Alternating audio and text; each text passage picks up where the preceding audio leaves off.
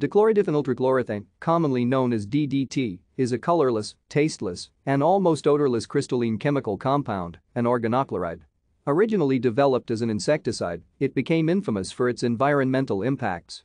DDT was first synthesized in 1874 by the Austrian chemist Othmar Zeidler. DDT's insecticidal action was discovered by the Swiss chemist Paul Hermann Muller in 1939.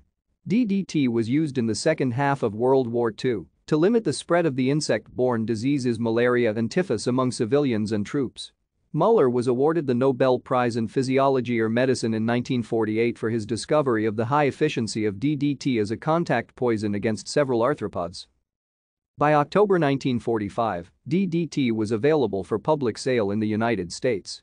Although it was promoted by government and industry for use as an agricultural and household pesticide, there were also concerns about its use from the beginning. Opposition to DDT was focused by the 1962 publication of Rachel Carson's book Silent Spring. Thank you for watching. Like and subscribe if you would like to view more of our videos. Have a nice day.